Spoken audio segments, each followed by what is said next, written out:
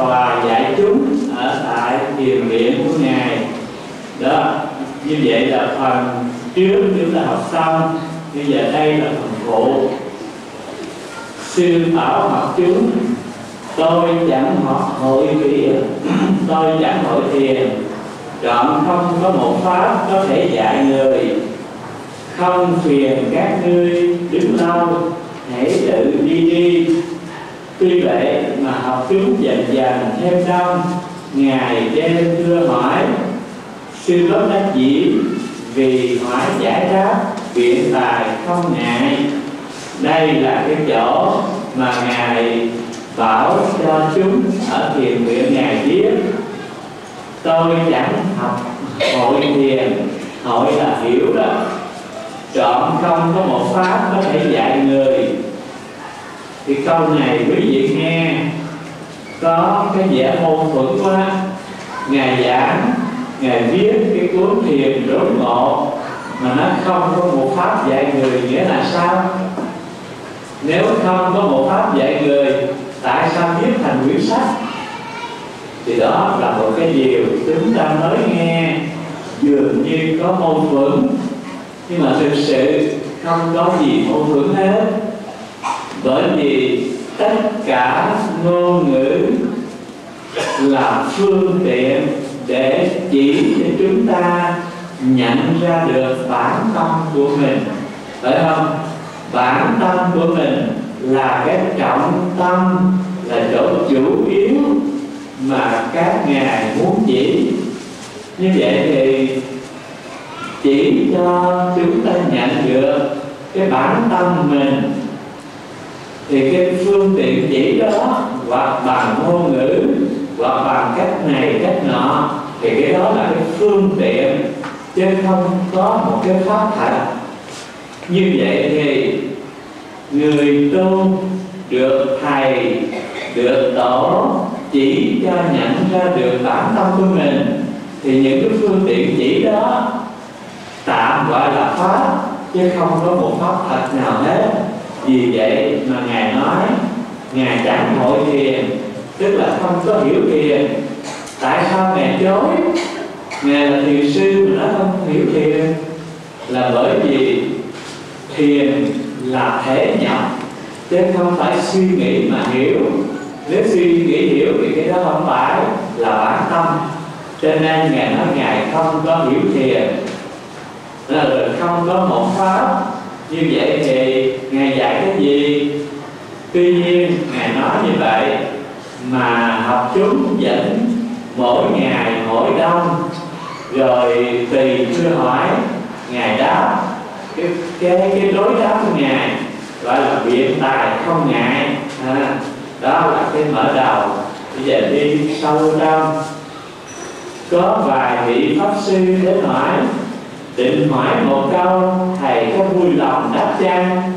Sư bảo, bóng trăng dưới đồng sâu mặt ý mò bắt.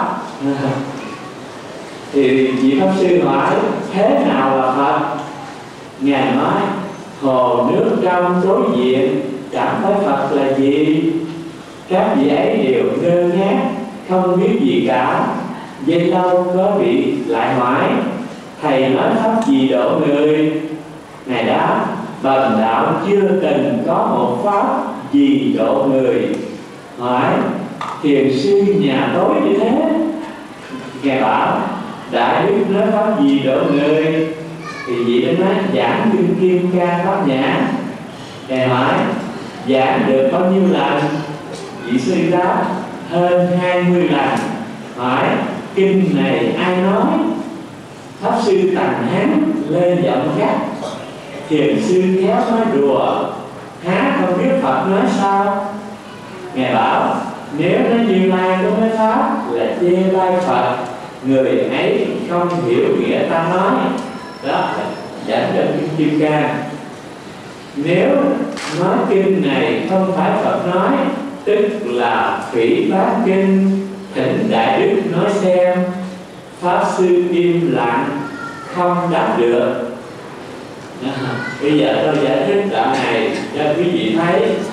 Cái lối đối đáp của ngài qua những cái lời hỏi.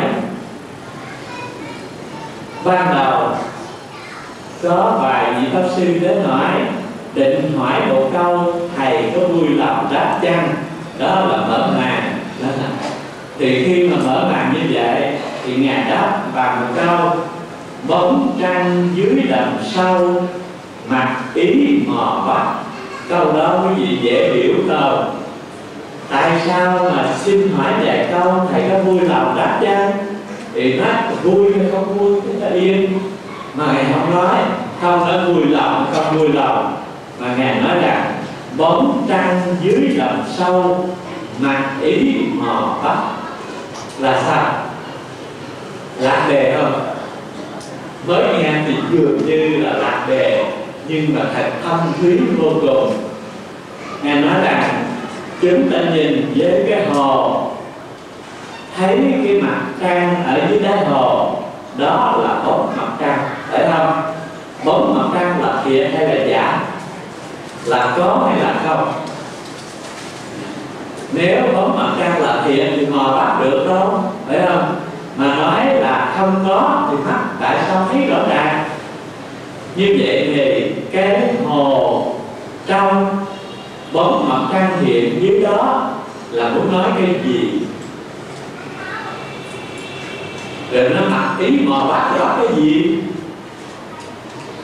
Hồ trong là ngài thầm tự bảo rằng tâm chân thật của mình như là một cái hồ nước trong bóng trăng là những cái niệm khởi để phân biệt, giải nói.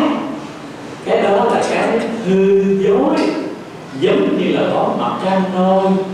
Những cái niệm khởi suy nghĩ, đối đáp là cái bóng. Không có thiện như là bóng trăng ở đáy nước vậy thì cái đó, tôi sẵn sàng đáp, nhưng mà đáp tôi như là cái bóng trăng thái nước là tùy ý ngài, tùy ý thầy đã hiểu. Vậy không cho nên nó mặc tình mò bắt như vậy thì mới thấy thiền sư nói khó hiểu quá. Phải không? Nói ở đâu đâu á, nhưng mà thực tình, một cái thâm ý, nói ra là nói lẽ thật. Tâm mình trong lặng như cái hồ, yên lặng bóng mặt trăng hiện với hồ thấy gì có mà không thực có. Tâm mình nó yên. Dùng phương tiện giải đáp cho người hiểu đạo. Thì cái câu giải đáp dường như có mà thiệt ta nó là bóng dáng cái không thiện hiểu như vậy thì nó hiểu được sự đối đáp. À, như vậy thì qua một câu rồi. Đến câu thứ hai. Hãy thế nào là phật? Thì ngài đáp hồ nước trong đối diện, chẳng thấy phật là gì hiểu câu trên thì câu dưới này quý vị hiểu chưa đó. cái tâm trong lặng như hồ nước, thì cái đó là phật cái gì mà cái tâm trong lặng đó là phật, chứ không có đâu xa hết đấy. như vậy thì tất cả chúng ta có người nào thiếu phật không có ai chiếu không? Bây giờ quý vị thử giơ tay coi vị nào thiếu phật. Không ai thiếu đâu như vậy thì ai có phật sẵn hết rồi. Phải không? Hồ tâm, chúng ta nếu nước trong lặng thì nó là Phật chứ không gì hết. Còn nếu nó loạn động, lăng xăng là chúng sanh thì bây giờ quý vị thấy chúng sanh đang nước bóng của Phật. Phải không? Mà bây giờ mình thương chúng sanh nhiều hay thương Phật nhiều? Thương ai nhiều hơn? Dường như thương chúng sanh nhiều. Ngồi lại nhớ chuyện này, chuyện kia, suy qua nghĩ lại. Nhớ đó không à? Còn không phải làm điên đó mình quên. Quên bẩm, có phật mà quên cũng như không phật phải không? Vì vậy mà chúng ta có chỗ khác của nó là chúng ta là kẻ bạc bội đó. Bội bạc quá đi, bạc bẽo có cái chân thật là chủ nhân mà mình quên. Rồi chạy theo những cái lan xăng, cái tướng tạp nhập bên ngoài. Vì vậy ở đây ngài chỉ thẳng gọi là tuyên chỉ đấy hồ nước trong đối diện tức là ai cũng có cái hồ nước trong trước mắt đó là chẳng phải phật là gì, đó là phật rồi.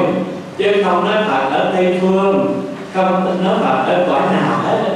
Mà phật ngay trong tâm của mình, mà tâm yên lặng như hồ nước trong đó là tâm phật.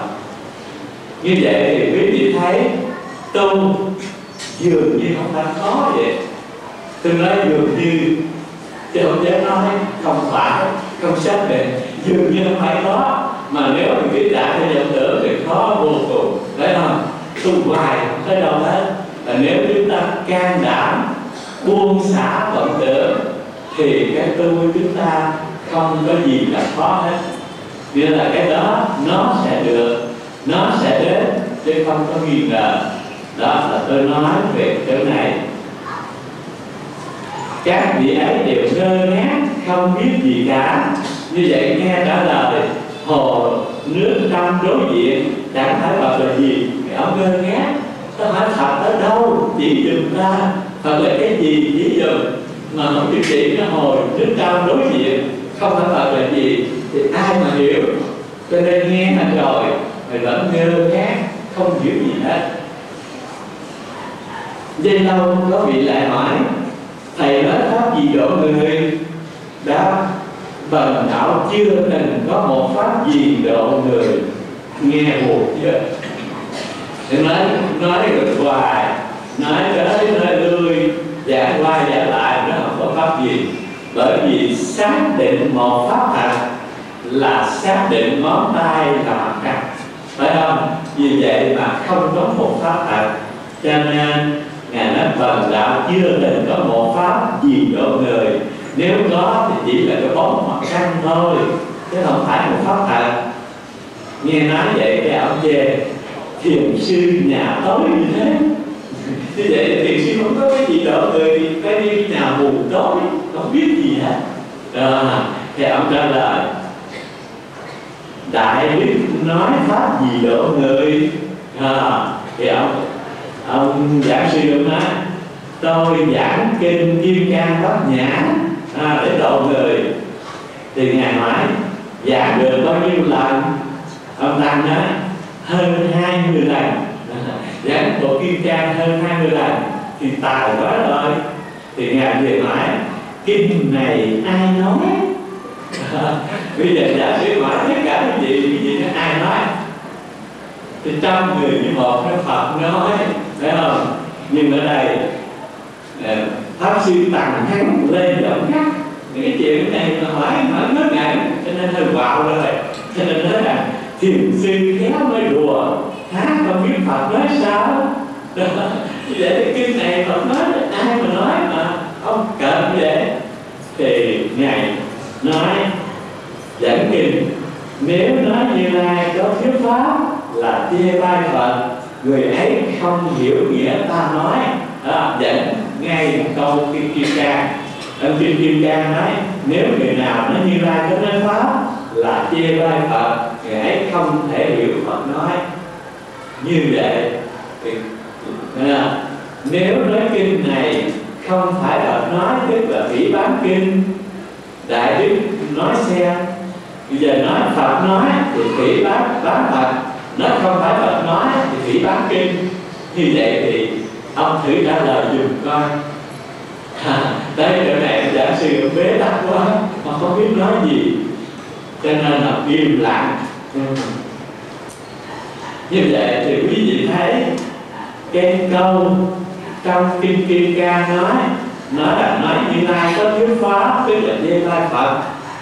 Người ấy không hiểu nghĩa của phật nói bởi vì phật nói là phương tiện dùng cái hư dối để mình chỉ cái chân thật.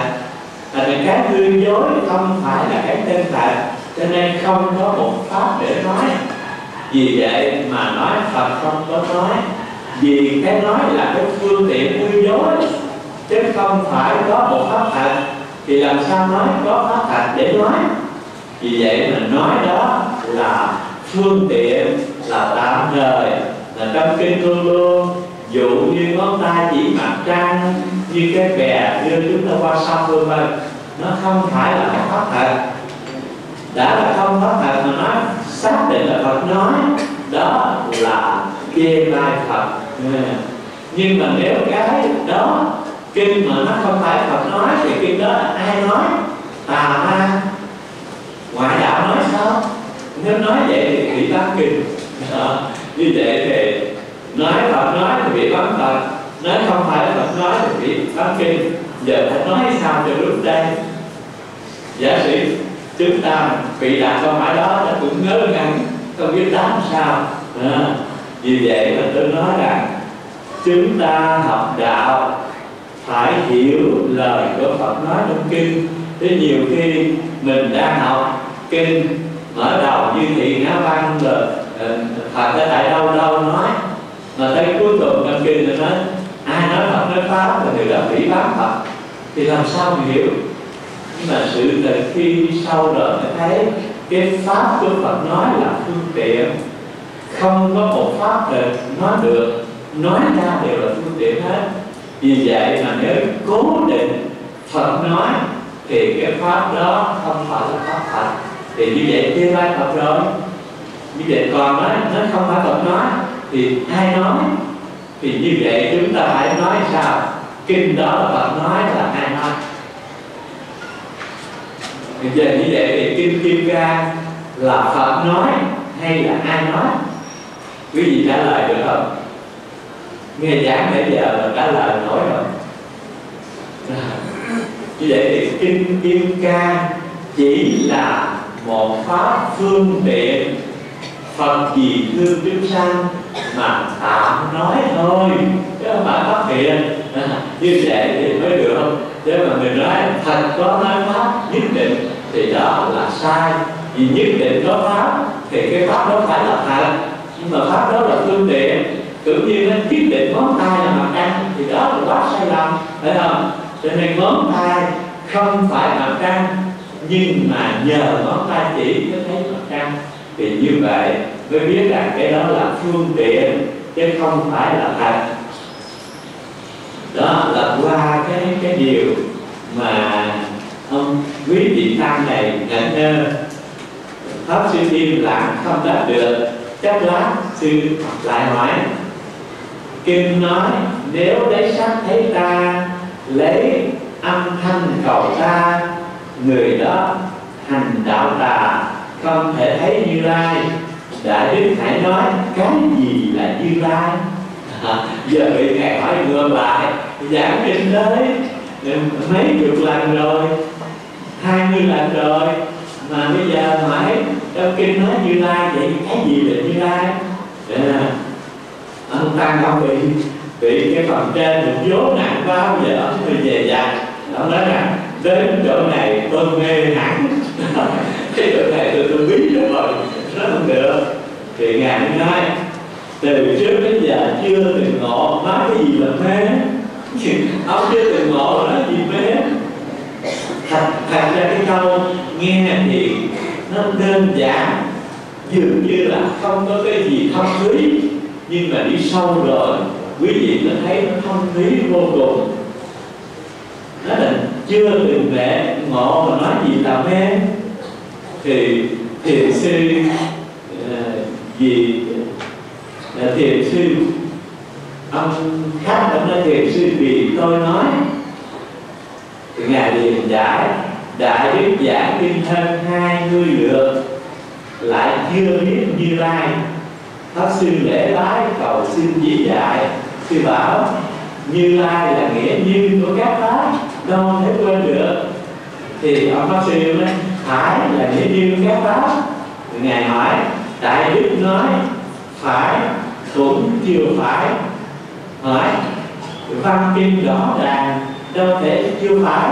Ngày đó đại đức như đang, ông tăng đang như. Rồi ngài hỏi, cây đá như đang như? Như vậy thì đại đức như đồng cây đá như đang thì ông tăng đó không hề. Đại đức cùng cây đá đâu khác. Pháp sư không đáp được lại khen đây là thượng nhân có đối đáp được.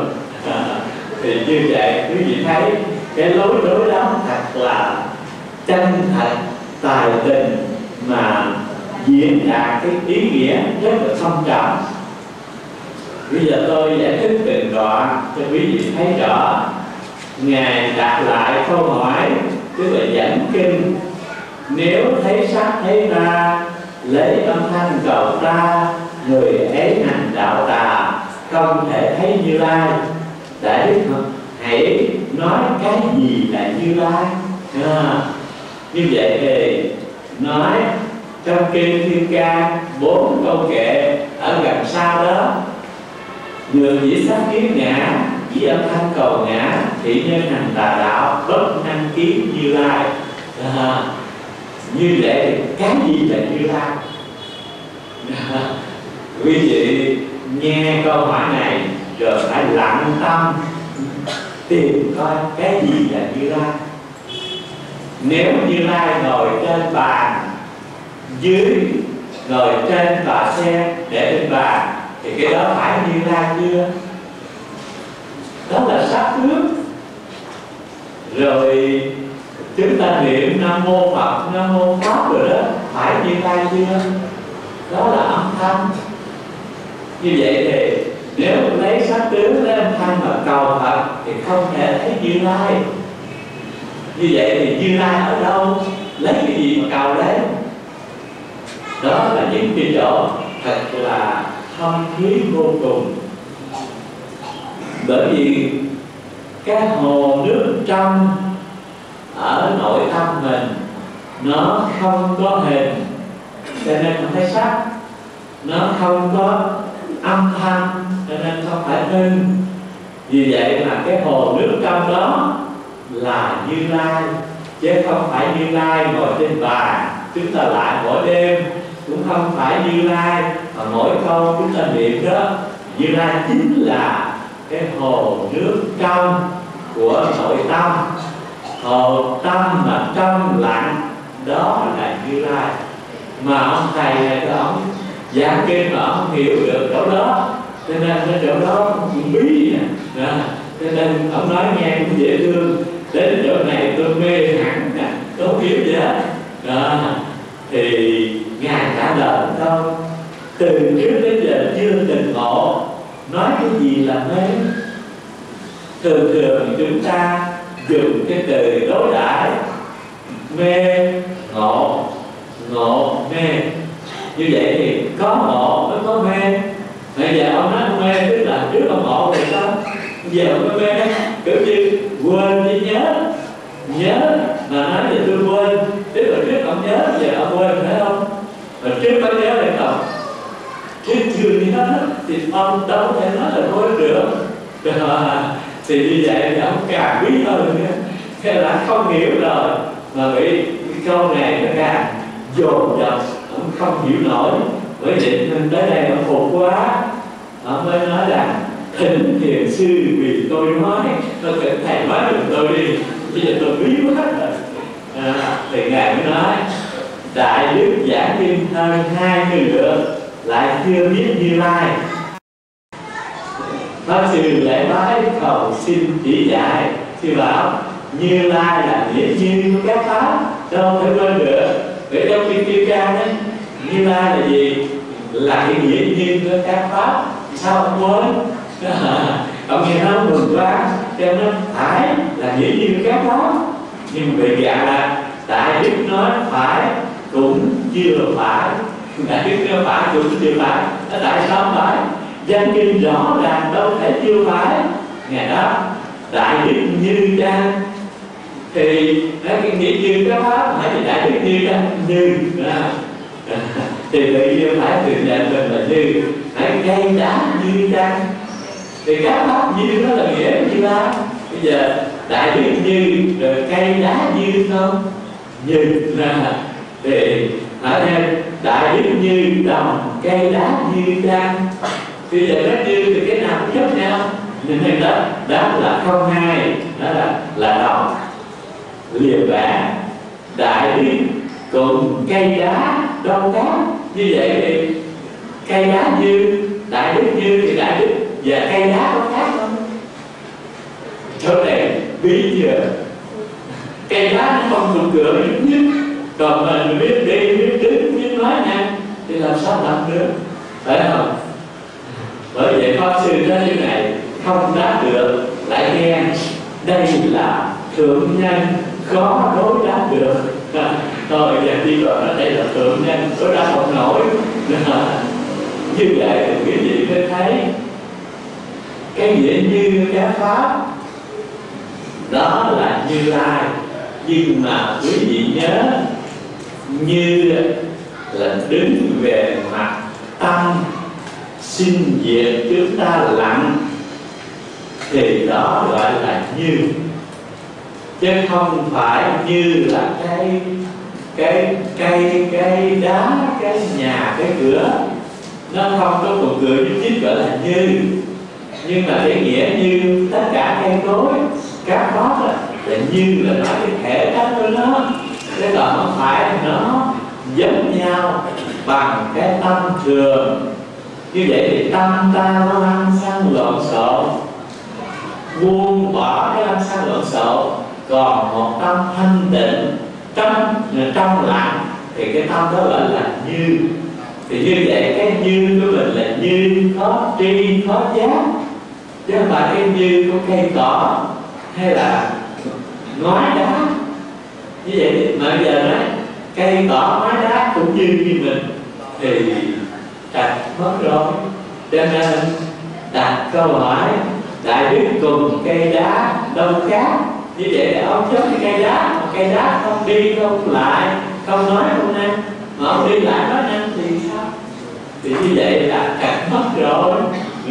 Như vậy là ông không biết cách nào khác hơn là khen. Đây là thượng nhân không thể đối đáp nổi à, thế đó lại nghe Dây lâu lại hỏi thế nào được đại niết bàn? À, ngài đó chẳng tạo nghiệp sanh tử. Hỏi thế nào nghiệp sanh tử? Ngài đáp cầu đại niết bàn là nghiệp sanh tử. Bỏ dơ lấy sạch là nghiệp sanh tử. Có đắc có tiếng là nghiệp sanh tử. Không vượt khỏi môn đối trị là nghiệp sanh tử. À, cái chỗ này là chúng ta phải nghe rồi mới thấy cái hay của người xưa. Hỏi thế nào là đại niết bàn thì câu này nếu mà thường hỏi thì pháp sư sẽ đáp rằng đại niết bàn tức là để niết bàn thanh tịnh không còn như chỉ như dân à, thì đó là nói niết bàn nhưng ở đây ngài nói đại niết bàn là chẳng tạo nghiệp sanh tử, là đại niết bàn nói ngược lại, nghĩa là không còn nghiệp sanh tử là đại niết bàn cũng như nói ở cái gì là hư không? Không có những cái nhà cửa, cây cối, sự vật trống rỗng là hư không. Phải không? Không có cái có hình tướng thì đó là hư không. Chứ không nó hư không là gì? Niết bàn à, thế nào là đại niết bàn không còn tạo nghiệp sinh tử là niết bàn à, thì ông tăng vẫn mới hỏi thêm thế nào là nghiệp sinh tử? À, bây giờ muốn được niết bàn thì phải không tạo nghiệp sinh tử? Bây giờ thế nào là nghiệp sinh tử? Thì ngài trả lời cầu đại niết bàn là nghiệp sinh tử bỏ như lấy sạch là nghiệp sinh tử có đó có chính là nghiệp sinh tử không vượt khỏi môn đối trị là nghiệp sinh tử tức là mọi cái đối đãi là nghiệp sinh tử nói gọn là như vậy. Còn đối đãi, bỏ cái này tìm cái kia. Có cái tốt, có cái xấu, có cái hay, có cái dở. Thấy đối đãi vậy là nghiệp sinh tử như vậy thì bây giờ chúng ta tất cả ở đây có ai mà không mang nghiệp sinh tử không? Có. Sẽ đứa bé. Nó chưa có. Suy nghĩ gì bây giờ nó có. Còn có phân biệt hơn thua phải quấy đời thì ai cũng là nghiệp sinh tử nhưng mà nói, để rồi quý vị thấy cái chỗ kỳ đặc của người tu nhiều người nghe thấy cái chỗ này đâm ra quan mang. Như vậy, mình tu bỏ cái tâm ác để giữ cái tâm lành. Bỏ cái nghiệp dữ làm nghiệp lành. Bỏ cái thế giới đau khổ để cầu cái thế giới an lạc vậy là nghiệp sinh tử sao? Phải không? Mà nghiệp sinh tử vậy mình sao tu? Đó là cái chỗ nhiều người sẽ qua mang không biết tu thế nào cho ổn. Thì đây nó rõ ràng, nghĩa là tâm còn kẹt hai bên, còn cầu niết bàn, còn sợ sanh tử là còn hai bên. Mà tâm còn hai bên là còn đối đãi. Mà còn đối đãi thì chúng ta được cái tốt, mà tốt không đối đãi. Chứ không phải cái tốt tuyệt đối vượt ngoài đối đãi mà niết bàn là không còn đối đãi nếu còn đối đãi tức là còn sinh tử. À, như vậy thì có người nói là như vậy tôi làm lành làm phước là tôi làm nghiệp sinh tử sao? Quý vị trả lời sao? Cả đời tôi làm lành cả đời tôi làm phước vậy tôi tạo nghiệp sinh tử sao? Thì chúng ta phải nói sao? Nếu nói tạo nghiệp sinh tử, thì người ta nói thôi tôi làm làm làm phước gì nữa hết. Thì được không? Đó là cái chỗ hết sức là đáng lưu tâm. Làm lành, làm phước là tạo nghiệp lành, tạo công đức. Được sanh quả lành, hưởng phước đức.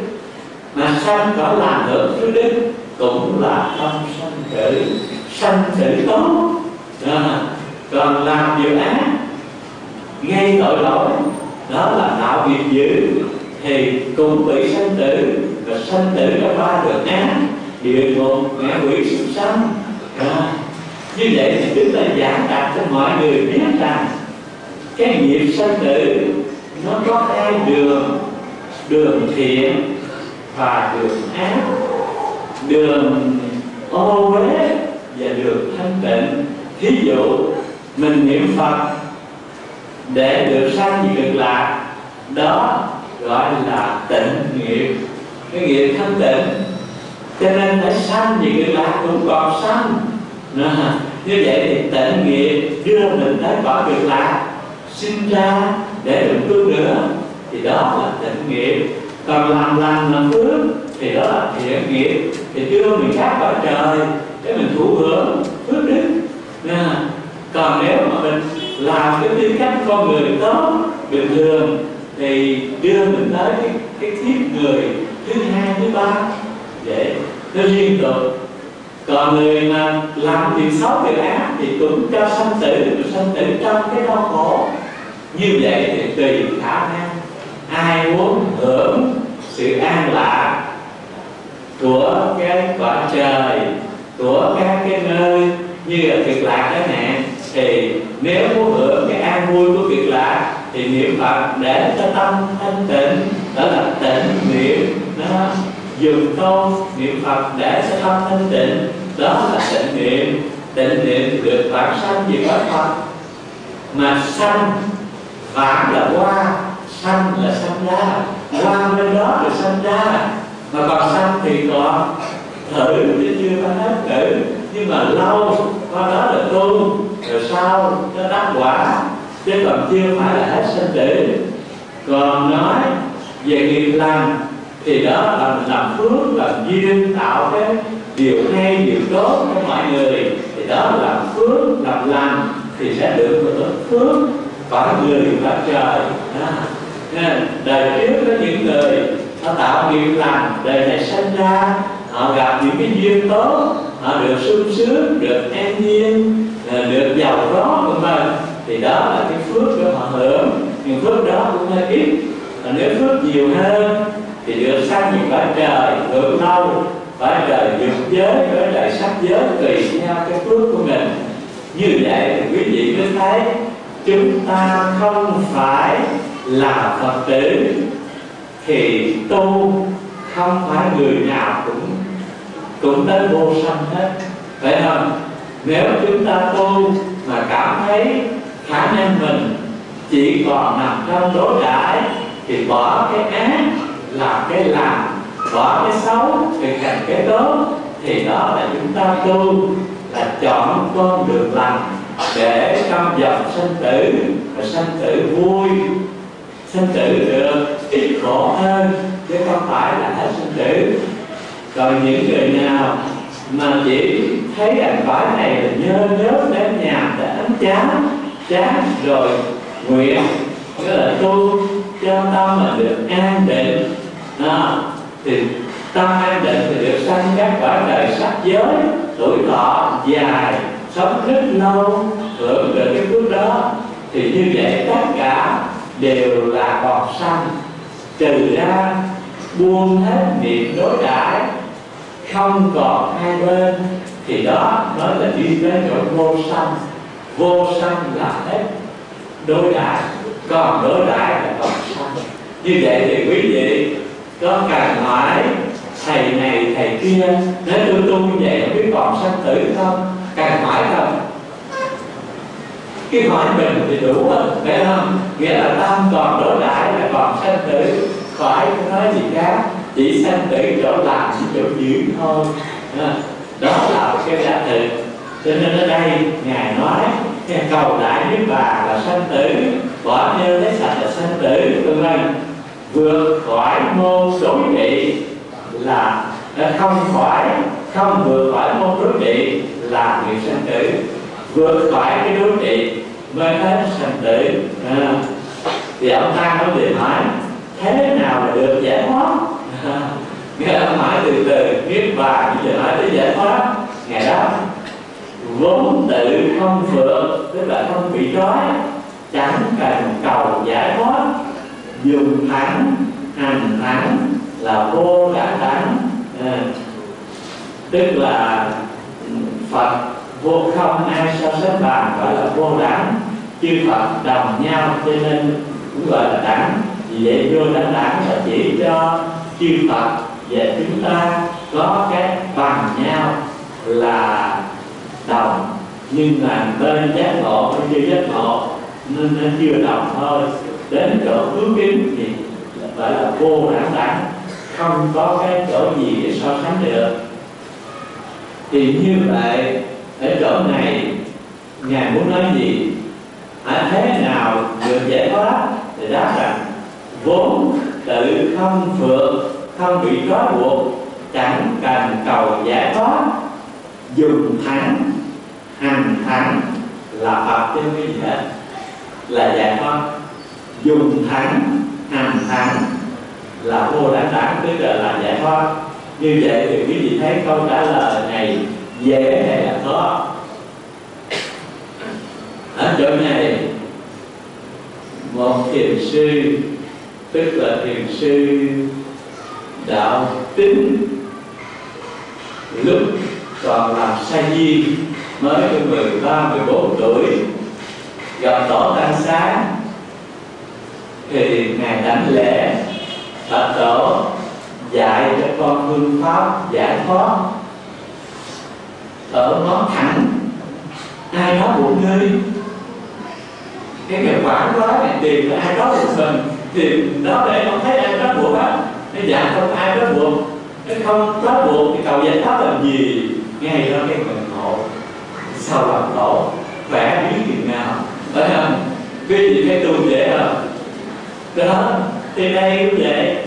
Nghĩa là phải thế nào giải thoát thì ngài nói vốn tự không bị trói buộc thì chẳng cần cầu giải thoát dùng thẳng, hành thẳng dừng thẳng là cái gì đến là dừng. Làm việc thì làm thì đó là dừng thẳng hàng tháng.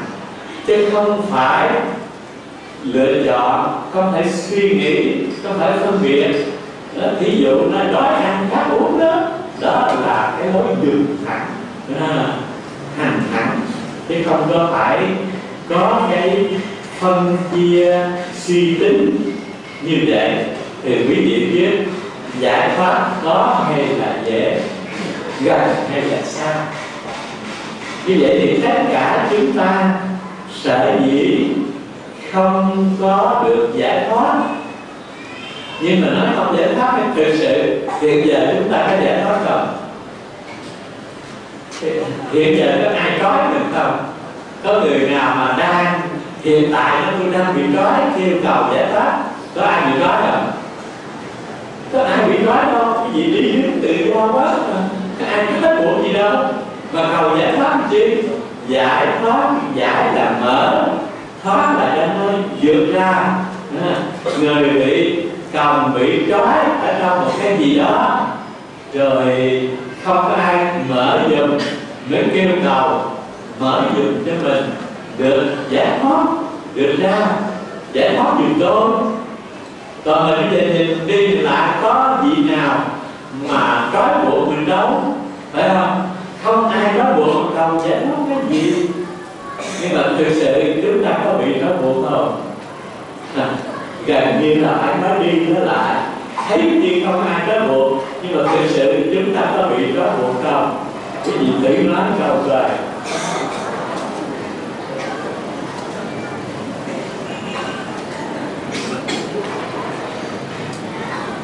cường cường ở thế gian người ta gọi thê hàng tử vượng. Phải không? Thê hàng tử vượng.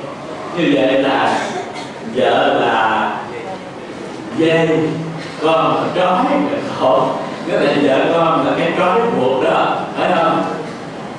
Nói vợ con là trói buộc sao ta nói lớn lên, có gia đình có hạnh phúc.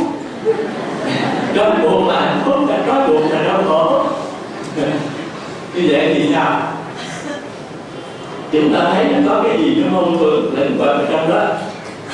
Như vậy thì trói buộc là cái gì trói buộc? Thực sự không ai có buộc mình và chính vì cái tâm nhiễm trước sáu trần là cái trói buộc. Thấy cái tướng bên ngoài thì được thấy cái thì qua đẻ liền thích quá. Thích chắc lưỡi ngà thì ra đó cái phúc người này kia mua bình qua. Thấy không? Thì cái đó là bị vượt qua nó trói thấy không? Rồi ăn một món gì ngon, khen nước nữa đó để cái món đó trói. Nên nên mai mốt cái thèm là ăn nữa. Như vậy thì tất cả những cái trói buộc đó là chính mình. Rồi mình chấp vào cái sắc, cái thanh, cái hương, cái vị, cái xúc, pháp mà thành cái buộc. Ví dụ như ở thế gian, những người còn trẻ đi nghe ca nhạc, bữa nào nghe ca nhạc hay quá, về cầm cầu khen, thì mai mốt cái cái gánh, cái đám đó ở lại, họ tổ chức nữa thì sao? Nếu mà không có tiền đi, thì cũng chạy được đi xuôi ngựa phải không? Dây ngựa để thì cái gì đó buộc cái âm thanh nó đó buộc phải không? Như vậy thì chúng ta do sắc tham như bị xuất ở bên ngoài, rồi chúng ta tự cột trói mình, chứ không phải ai trói mình đâu.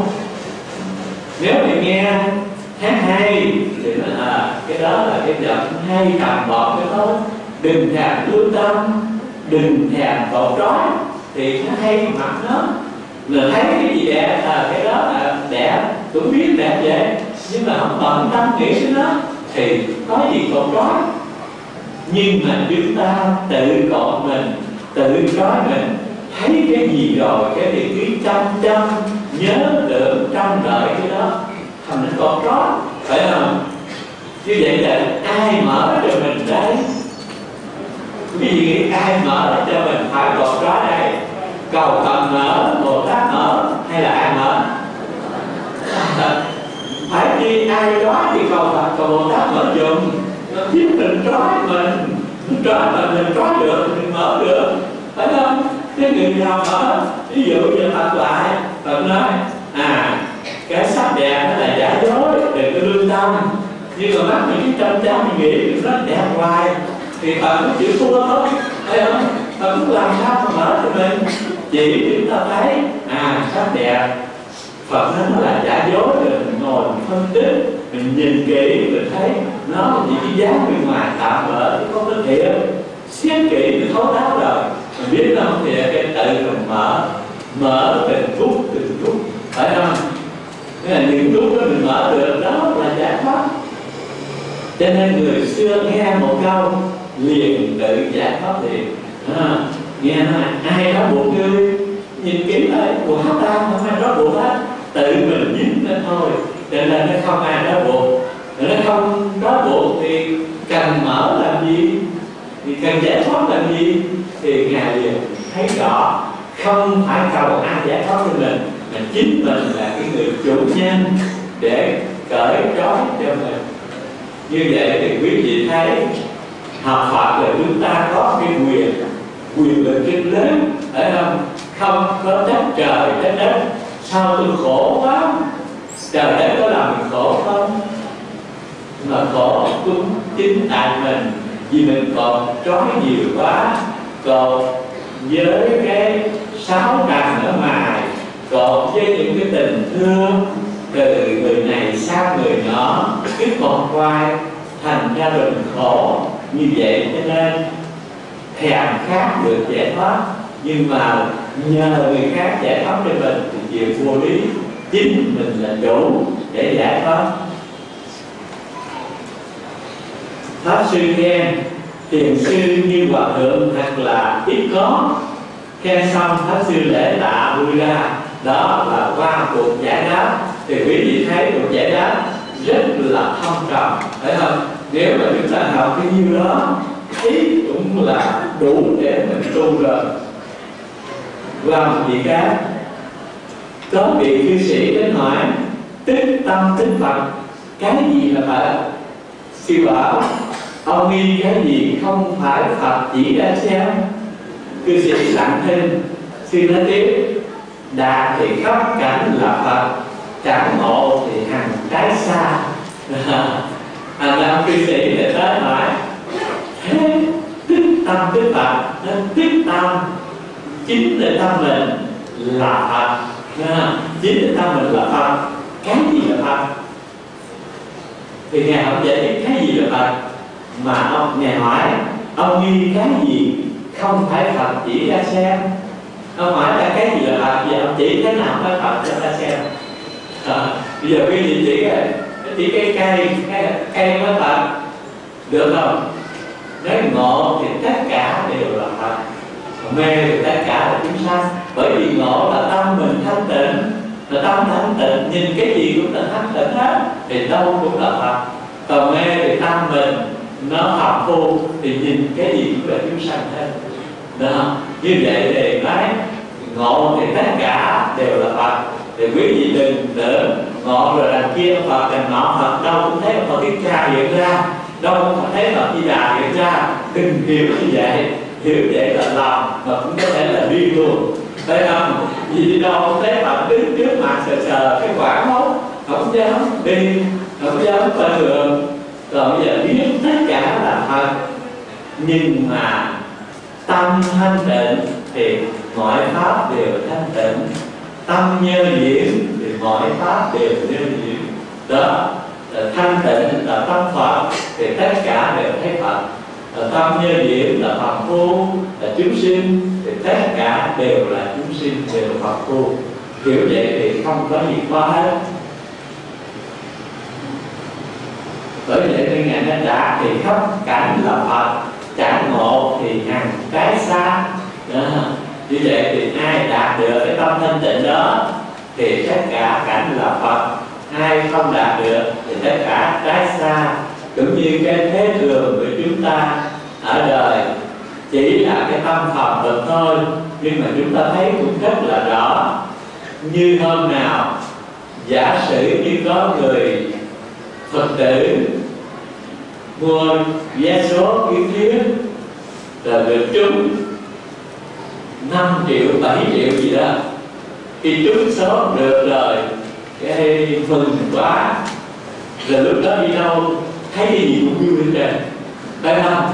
Nhìn cái cây cũng vui nhìn người ta cũng vui ai cũng vui hết. À, nên là nếu mà hôm nào mua bán làm ăn thất bại mất hết vốn đi đâu có thấy sợ? Thấy sợ ai cũng buồn ai cũng rủng rượi hết. Đó. thì như vậy cái tâm của mình nó được cái gì vui thì thấy tất cả vui theo, bị cái gì khổ thì thấy tất cả khổ theo. Đó là cái tâm đối đãi đó muốn nữa là được tâm thanh tịnh, trong sáng thì ở đâu nhìn đâu có phật cho nên người tu ít có buồn là chỗ đó đấy còn người đời thì khi thì vui vui kỹ hạ, khi thì buồn khóc sướt mướt phải không? Vui nhiều buồn cũng lắm là người tu thì sơ sơ thôi, để nó khỏe một phần. Còn chúng ta còn có nhiều thì nó khổ thì nó không có thoát được. Như vậy, bây giờ đến một vị khác. Có luật sư hiểu pháp minh đến nói, các thiền sư phần nhiều rơi vào không. Sư bảo trái lại, các bà chủ còn nhiều nơi còn không? Pháp minh quảng sợ nói, tại sao nơi còn không? Này đó kinh luận là giấy mực phân tự giấy mực phân tự đều là không? Đó thế là duyên hợp không thể, dù là trên tiếng dựng lập, danh cứu văn, thanh, đâu chẳng phải là không. Và chủ bám chặt vào giáo thể đâu chẳng rơi vào không? Hỏi thiền sư rơi vào không chăng? Ngài đó chẳng rơi vào không. Hỏi, sao lại chẳng rơi vào không? Biến đổi.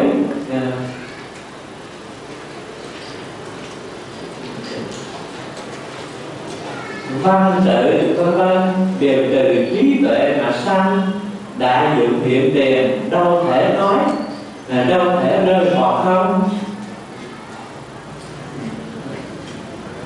Cái chỗ này tôi muốn giải thích cho quý vị hiểu cái câu hỏi và câu đáp. Ừ, thiền sư, đây là luật sư pháp minh. Phải, các thiền sư phần nhiều rơi vào không. Vì vì thiền sư hai nói, hay nói cái câu là tất cả pháp tánh là không đó cho nên ông cho mình rơi vào không thì sư bảo, trái lại, các tọa chủ còn nhiều rơi vào không tọa chủ tức là, trái lại là mấy thầy trụ trì như ông đó mới rơi vào không không quản tốt rồi tại sao không rơi vào không đây ngài nói, kinh luận là giấy mực văn tự. Giấy mực văn tự đều là không. Đó, do duyên hợp có thể dù là trên tiếng dựng là danh tú văn thanh. đây là lối phân tích theo cái con văn hồi xưa. Danh là danh từ tú là câu văn là bài thanh là trọn bài. Đâu sẽ phải là không?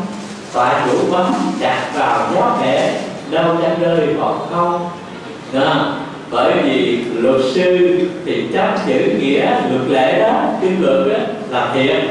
Cho nên đọc luật à, đọc kinh cho đó là cái thành pháp. Nha. Còn nói thiền sư nói cái gì cũng không không hết thì đó là chấp không. Nhưng ở đây ngài nói tất cả thiền sư không có chấp không. Mà trái lại các vị luật sư này mới là chấp không mới rơi vào không. À, tại sao tôi lại rơi vào không?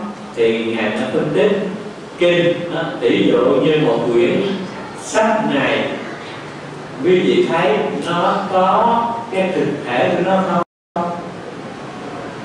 Nó do từng tờ giấy kết hợp lại rồi thành cuốn sách rồi chữ nghĩa cũng từng chữ từng chữ in vô, rồi kết lại thành câu, thành bài.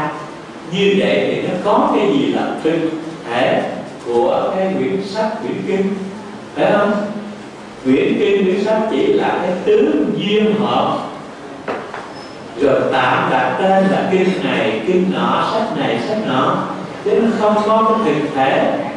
Mà không thực thể thì chắc nó là thực, không thể rơi vào không. Không như vậy thì ông liền hỏi lại. Liền hỏi lại rằng thiền sư có rơi vào không chăng? Nếu vậy thì tôi rơi vào không, ông có rơi vào không không? Thì người nói, chẳng rơi vào không. Nói, sao lại chẳng rơi vào không? Đó. Văn tự vân vân đều từ trí tuệ mà sanh, đại dụng hiện tiền đâu thể rơi vào không? À, bởi vì tại sao có văn tự? Văn tự là do cái trí của mình mà mình diễn đạt và ghi chép ra. Như vậy thì các chữ ghi chép ra là các vị vị mình nghĩ vị mình suy rồi đặt ra. Còn chính cái nghĩ suy là cái chủ phải không? Thì cái cái vị mình nghĩ suy được ghi ra thì cái tác giả tức ngoài nó là giới thiệu không? Còn cái hay nghĩ suy là chủ ở trong thì chủ là sao giới thiệu không được? À, quý vị thấy cái lý của ngài nói thật là thấu đáo. Thì chúng ta cứ ngỡ rằng chắc không để chắc cái gì đó bên ngoài. Rồi cho những cái đó là thật. Nhưng mà sự thật cái bên ngoài á nó có từ cái tâm của mình mà ra đó. ví dụ như cái nhà này, cái chùa này, nó có, thì cái chùa này nó duyên hợp nó là giả. Một ngày nào đó nó bị hoại. Nhưng mà cái tâm là của thiếu sinh ngồi suy gẫm thật giả ra như vậy thì các hình chùa ngày nay có được nhờ cái buổi đầu cái tâm đó thấy không? Như vậy cái chùa là giả, nhưng mà cái chủ là cái tâm ban đầu nó không phải là giả. Nhưng nói không phải giả, đây là nói cái gốc nó không phải là giả, cái cái ngọn là giả. Quý vị biết cái gốc, cái ngọn cái gì không? Tức là cái mặt nước hồ trong là cái gốc. Những lượng sóng dấy lên là cái họ, phải không? Những lượng sóng là giả, mà cái mặt nước hồ đối với sóng nó không phải giả. Thì tâm chúng ta, cái suy nghĩ nó là giả nhưng mà cái thanh tịnh sẵn nó không phải là giả.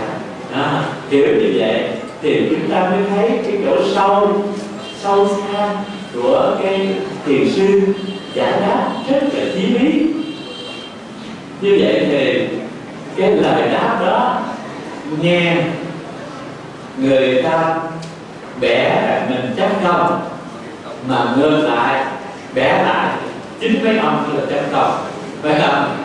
Mà chấp công tức là bắt chấp chữ chấp kinh sách bằng hình thức, thì đó là chấp công vì cái đó cái giả giả mới chấp thiệt, thì đó là chấp công còn cái thực sinh ra cái đó, trí tuệ mà nói ra, hiểu được cái đó, không phải là không.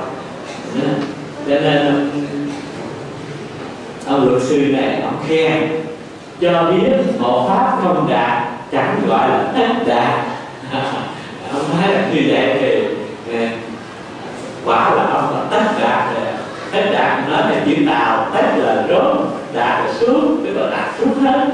Nhưng mà bị bị ngàn kẻ lại luật sư chẳng những chơi vào không, lại còn dùng làm danh ngôn chẳng ờ, những để có công, bây giờ còn làm kẻ của nhân ngôn hấp minh đổi sắc mặt. Đưa tỉnh đó, bây giờ biến sắc luôn làm được nào ngài ờ, bảo, luật sư chưa làm âm trung hoa và phạn làm sao giải giải quyết ờ, thì ông luật sư, thỉnh điện sư chỉ ra trong lòng của pháp minh. Ngài bảo, đâu đã biết tất đạt là tiếng phạn sao? Pháp minh tuy nhận thấy lỗi, mà ta vẫn còn dạy nói, phàm kinh luật lượng là lời phật đọc tụng y giáo phụ hành sao chẳng thấy tám tức là ông chịu mất cát ông biết ông trạch rồi. Chữ tất đạt đó là ở dưới này tôi có giải thích rõ tất đạt là gì? Tất đạt là cái gì? Âm của chữ tất và hạt chính tha. Tất đà à, tôi qua dịch là nhất viết nghĩa. Mà là ông nghe tất đạt cái không ông tưởng là chuyện trung hoa đó là cái lòng. Rồi bây giờ ông lại hỏi đổi qua cái khác ở hỏi phàm kinh luận luận là lời Phật đọc tụng y giáo phụ hành sao chẳng thấy lắm.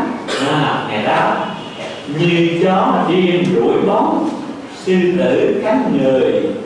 Kinh luận luận là tự tánh dụng người đọc tụng là tánh pháp hỏi Phật A Di Đà có cha mẹ ờ, có cha mẹ và họ chăng? Đó. Phật A Di Đà họ Kiều Thích Ca. Cha tên là Nguyệt Thượng, mẹ tên là Thù Thánh, Diệu Nhan. Hỏi, xuất phát từ kinh điển nào? Xuất phát từ tập Đà La Ni. Phát minh lễ tạ khen ngợi lui ra bởi vì hỏi mà bị chúng ta vẽ quá nổi giận.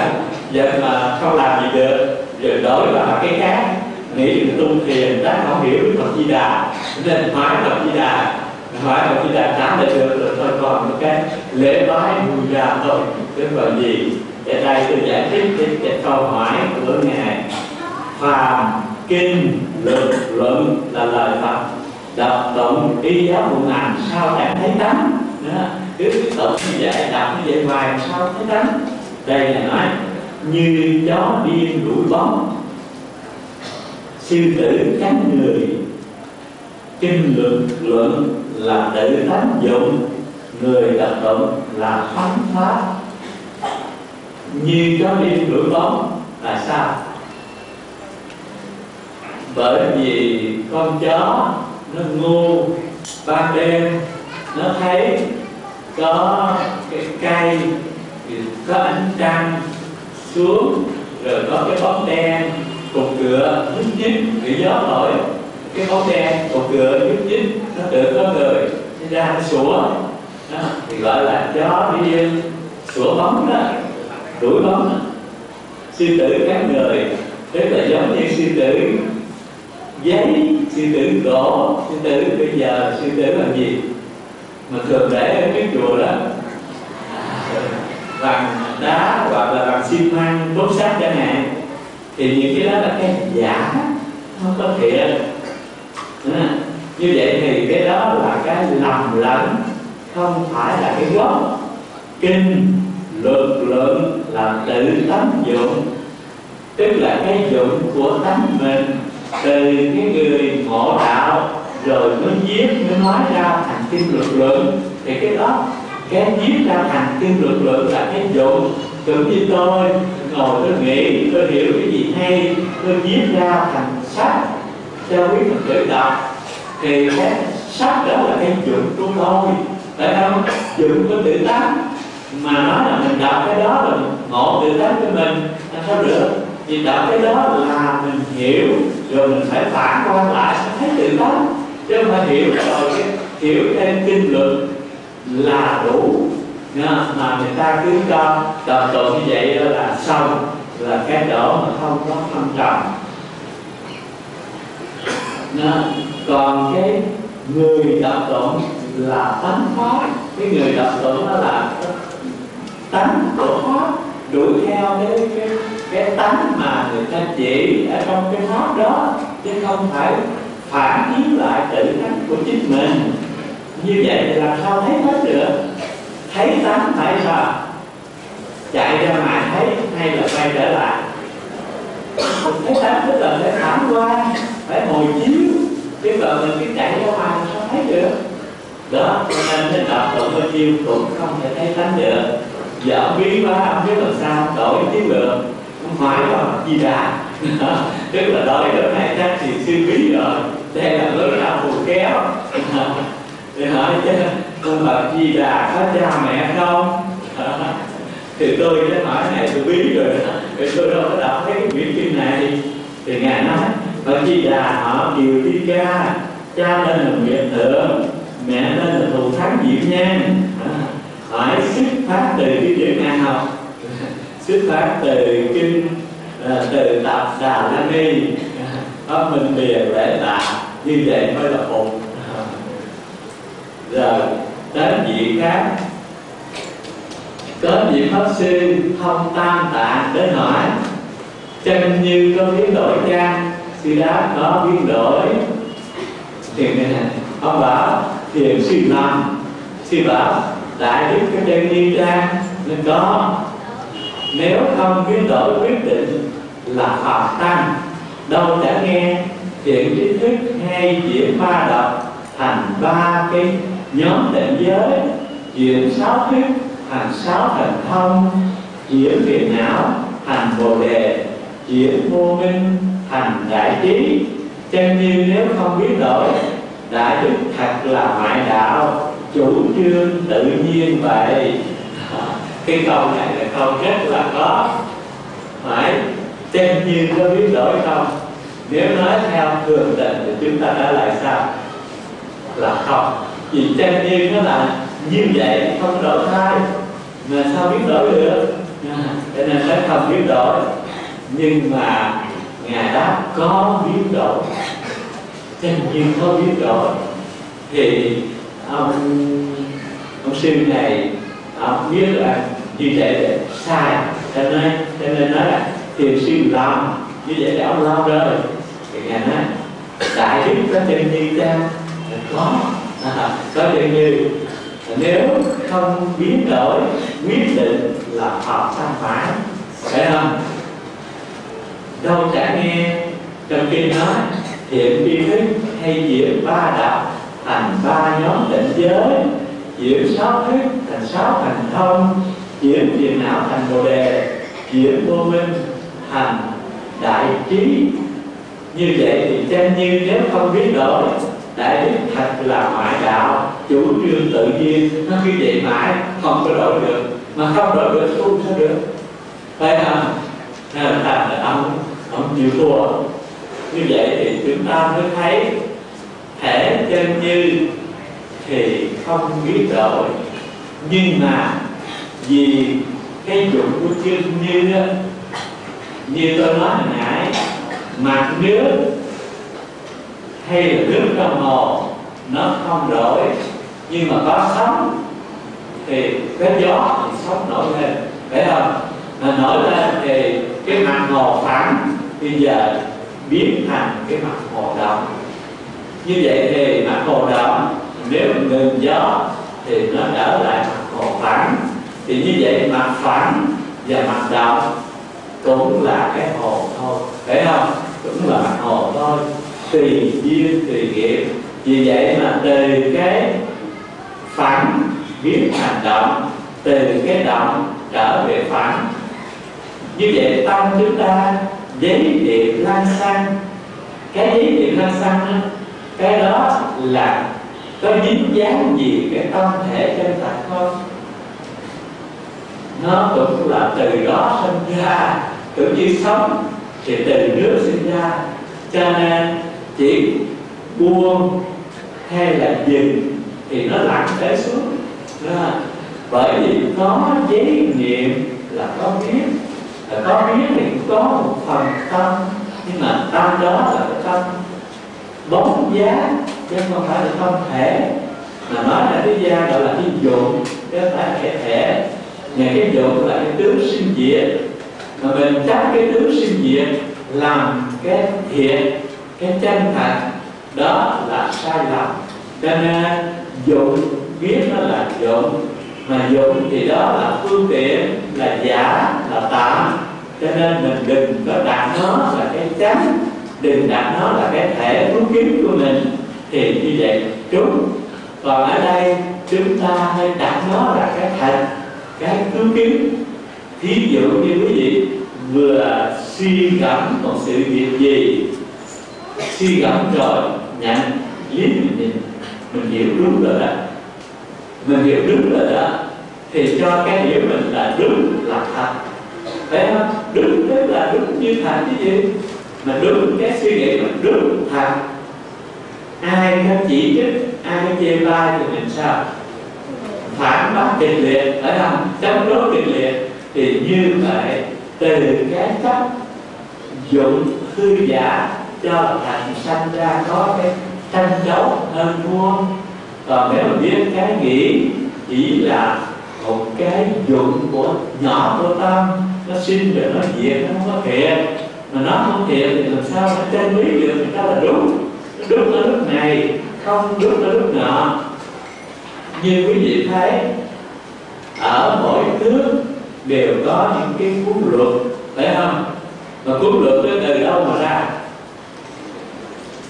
nó từ suy nghĩ của người ta mà gọi là suy nghĩ của những người có trí thức đó, suy nghĩ rồi xé né cái hoàn cảnh của đất nước, xé né về cái tình hình của dân chúng, vân vân. Rồi họ đặt ra cái luật để bắt đi theo cái con đường đó. Làm đúng như vậy thì có trật tự.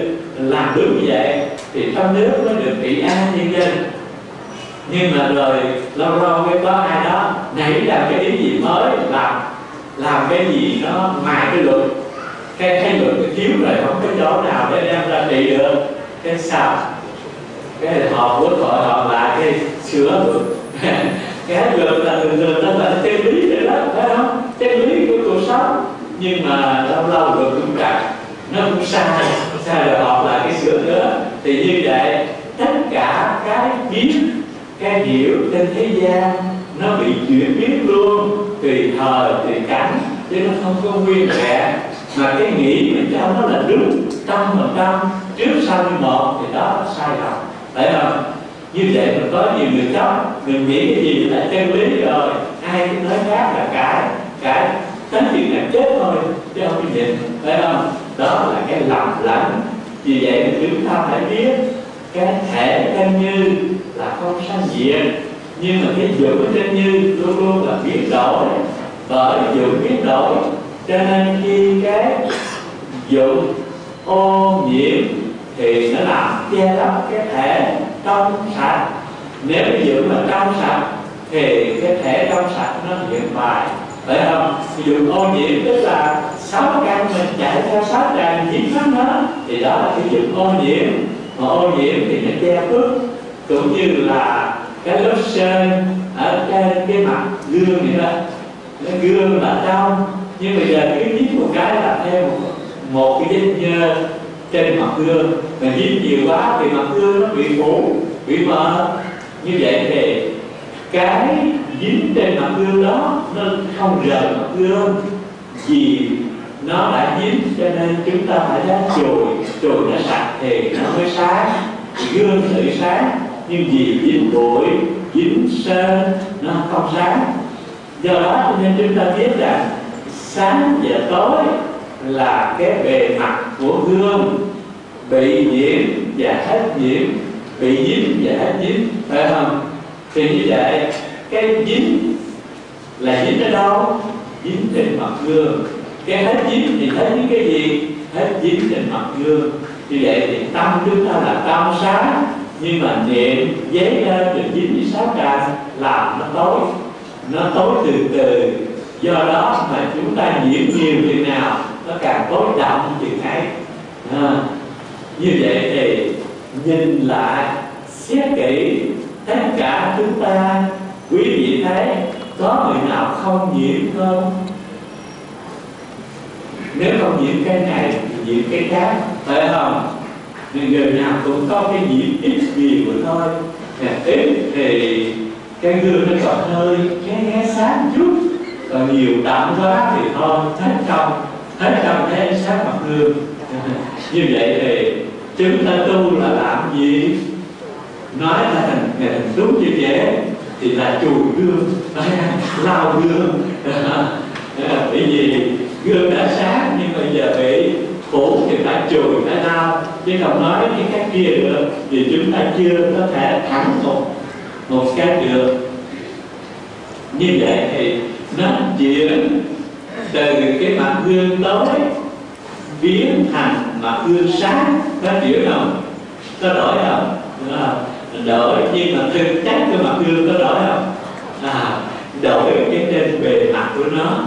Trên thực chất mặt gương không có đổi chân như nó đổi cũng đổi trên cái biện dụng của nó. Chứ còn cái thực thể nó không có đổi. Hiểu như vậy thì quý vị phải làm. Chứ bắt trước ở đây mai mốt mai hỏi chân như có đổi không? Nó, nó đổi. Nó đổi sao tôi biết thì ta định nghĩa chân là chân thật như là như như mà nó đổi thì đó là khác rồi. Đây không phải thêm nếu vậy chân như tức có biến đổi hồi nãy ông nói không đổi, bây giờ ông thấy giải thích vậy, ông thấy có lý rồi. Ông nói vậy, có biến đổi. Thì ngài về đáp, nếu chấp chân như có biến đổi, cũng là ngoại đạo. Hồi nãy nói, chân như không biến đổi, thì như vậy đó là ngoại đạo thiên nhiên. Bây giờ chấp chân như có đổi, thì cũng là ngoại đạo luôn nữa. Thì ông ông pháp sư này, ông vẫn qua hỏi thiền sư vừa nói chân nhiên có biết đổi giờ lại nói không biết đổi vậy thế nào thật đúng?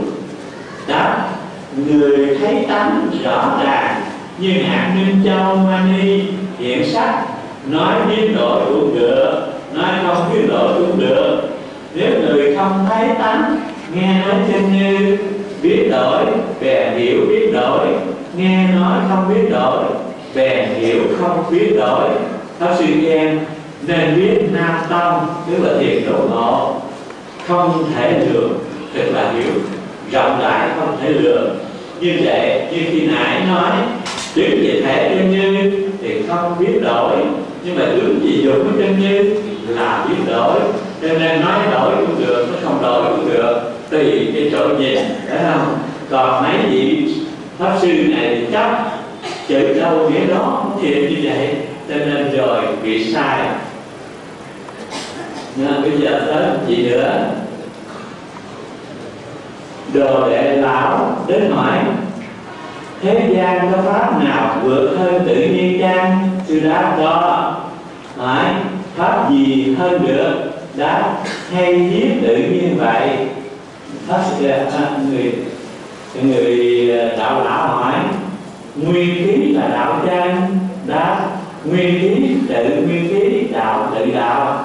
Hỏi nếu như thế, ác phải có hai đã biết không hai người. Hỏi thế nào là tà? Thế nào là chánh? Đã tâm theo phật là tà, phật theo tâm là chánh. Cái lối đáp lối đáp này nó quá là hay mà thật là khó hiểu.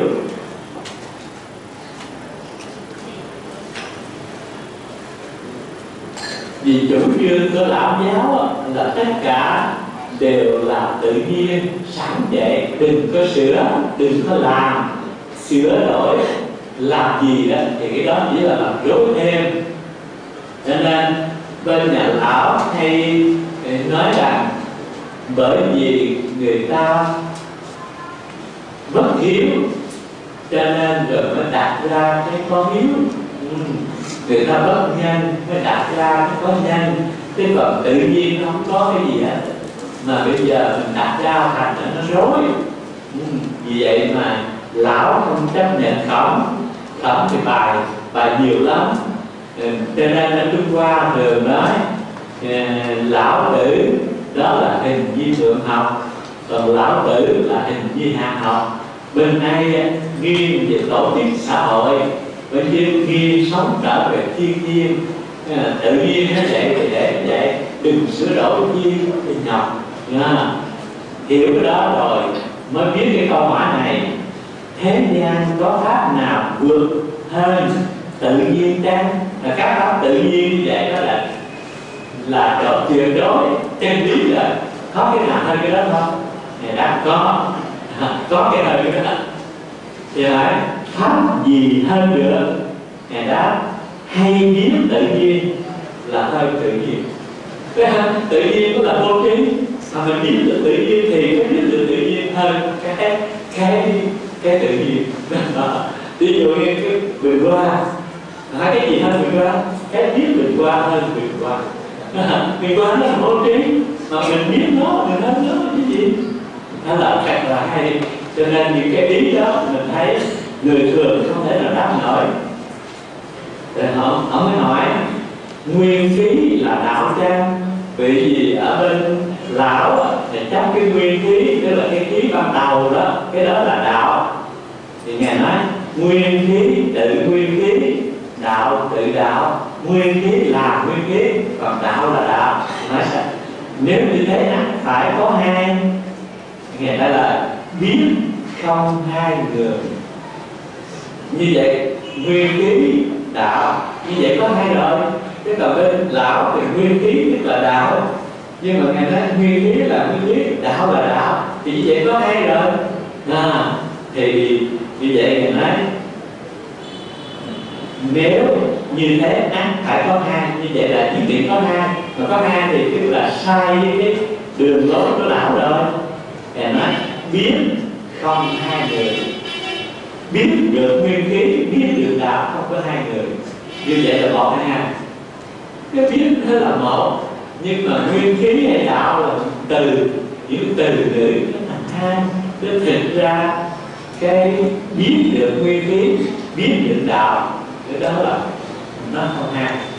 Nhưng mà chỗ này nó có cái thâm trầm mà chúng ta mới không hiểu thì đạo không thấy hay hiểu rồi nó thấy thật là thâm trầm bởi vì bên đạo giáo, chủ trương trở về thiên nhiên.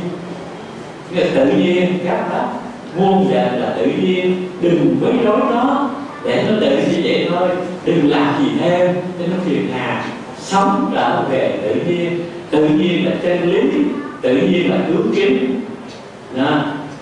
còn với nhà phật mình, thì chủ trương là phải giác ngộ phải nhận ra Phật tánh tánh giác trong tự nhiên bên kia là tự nhiên là đạo. Và bên đây cái giác ngộ cái Phật tánh cái đó mới là đạo. À, như vậy cho nên ngài nói nếu là nếu người thế như thế là nếu như thế phải có hai. Ngài đó biết không hai người. Cái thể biết của chúng ta không có hai à, như vậy thì cái tính giác nó không hai à, còn nếu mà cái tánh giác là biết được thiên nhiên biết đạo. Phải không? Như vậy thì bên kia bên đây cái nào siêu vượt hơn? Nếu nói thiên nhiên nói tự nhiên là hơn là trước kiến thì cái đó chỗ vô tri rồi. Phải không ở đây đó biết được cái vô tri đó, biết được cái thiên nhiên đó, tức là đánh giá. Thì cái đó mới là cái trên hết, mà đánh giá không có hạn à. thì ông lại hỏi thêm, thế nào là ta thế nào là chánh à. bây giờ hỏi thế nào là ta chánh thì ngài trả lời, thật là khéo vô cùng. Tâm theo phật là tà phật theo tâm là chánh tâm theo phật là tà Ờ, mà phật theo tâm là chánh như vậy thì câu này quý vị thấy nó khó, nó lạ. Tâm theo bảo thì điều rồi. Là phật theo tâm sao đấy cái bình qua là bình qua nó trốn theo mình. Phải không? Rồi cái gì, tất cả gì ở ngoài là ở ngoài sao nó theo mình? Mà nói phật theo tâm. Đó, là bởi vì chúng ta quen cái nhìn ngỡ rằng mọi vật ở bên ngoài là thiện nó thiện cho nên mình chạy theo nó. Bây giờ em biết tất cả pháp tự tánh là không không có cái gì thật hết. Nó tánh nó là không thật, biết tánh nó không thật, thì mọi cái nó không dính mình, mà mọi nó là trở về mình. Vì cái biết tánh không đó là trùng hết. Phải không? Cái biết tánh tham trồng hết muôn vật để muôn vật quy về mình. Còn cái cái mê lầm thì mình tưởng ngoài mình có Phật thiện, tâm là người, ngoài là cảnh cảnh thiện, người thiện, cho nên mình chạy theo cảnh. Bây giờ biết tất cả cảnh không thiện, biết người không thiện là chân tâm hay là Phật tánh cái đó mới là chân thật. Thì tất cả cái giả nó quy về thật, nó không có lời. Cho nên rồi cái đó nó quay lại, nó trở về mình. Chứ mình không có đạt cho nó. À, đó. hiểu như vậy mới thấy cái hay từ câu từ lời, thì đó là rất là tài tình. Theo Phật, tâm theo Phật là tà, Phật theo tâm là tránh. Như vậy hiện giờ quý vị tà hay là chánh thử nghiệm lại ta, kể của mình tu nhiêu năm rồi mình cái tà hay là chánh ừ. À, thì vậy tu các bạn thì nó chấp nhận mình tà tội quá dạ. ờ, mình phải làm sao để tránh ờ, ngoài và phải trả về mình chứ đừng để mình theo bạn. Đó là cái chỗ rất là thiết yếu. Thêm một vị nữa luật sư nguyên đến hỏi hòa thượng tu có dụng công trang ngày đó dụng công cái dụng công thế nào? Khi đói thì ăn, khi mệt thì ngủ. Hỏi tất cả người đều như vậy, đồng chỗ dụng công của thầy cha chẳng đồng tại sao chẳng đồng họ khi ăn chẳng chịu ăn, đói đòi trăm thứ cần dùng. Khi ngủ chẳng chịu ngủ, tính toán ngàn chuyện do đó chẳng đồng luật sư nguyên im lặng thì cái mấy cái này là quý vị thấy rất là hay. Đấy, là tượng tu ví dụ không? Công không? Cái có nói dụng công sao? Dụng công thế nào? Khi đói thì ăn, khi mệt thì ngủ. Như vậy thì cũng có dụng công chứ đâu phải như cây như gỗ. À, như vậy thì ông đều cả tất cả người đều như vậy. Tức là đói ăn mệt ngủ đồng cỡ bình công của thầy. Chăng? Như vậy thì 他 cũng nói ăn mệt ngủ thì đồng cỡ đỡ công của thầy đâu cảm ta chẳng đồng tuy vậy mà không đồng tại sao không đồng họ ờ, khi ăn chẳng chịu ăn rồi trong thứ cần dùng. Khi ngủ chẳng chịu ngủ, đến có ngàn chuyện do đó chẳng đồng vâng thì quý vị thấy, người biết tu, người không biết tu hành động như nhau, làm việc như nhau, mà hai bên khác nhau. Phải không? Đó. có người tôi nào ăn cơm không? Thì cũng ăn. Không ngủ không? Cũng ngủ. Thì như vậy tôi cũng ăn, cũng ngủ.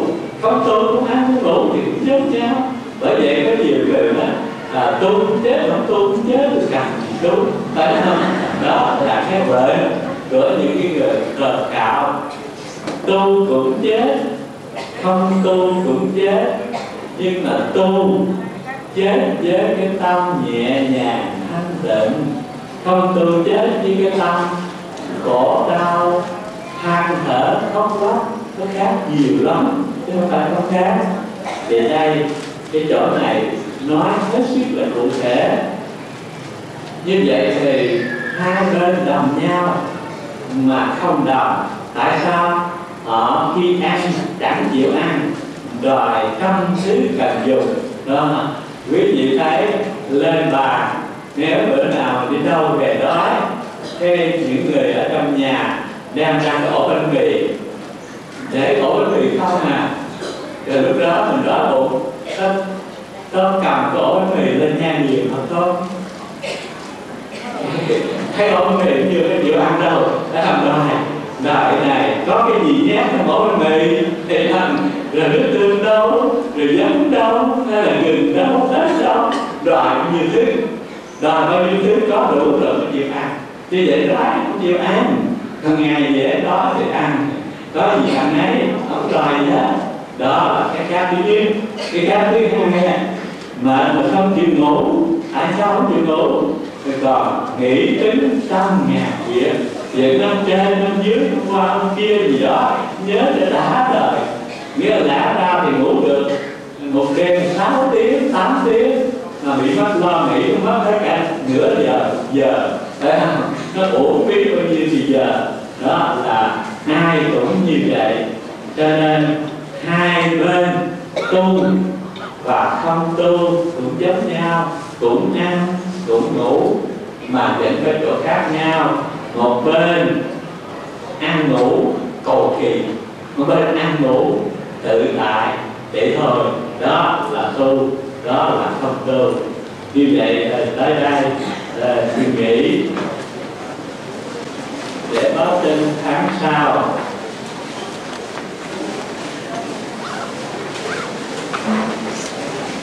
Tháng sau, giảng đây ở ngày 26 tháng 8 dương lịch. Nhằm ngày 27 tháng 7 âm lịch tức là cuối tháng. Ừ, thứ bảy cuối tháng. 26 tháng 8 dương lịch. 27 tháng 7 âm lịch. Đó là ngày giảng ở đây. Kinh đen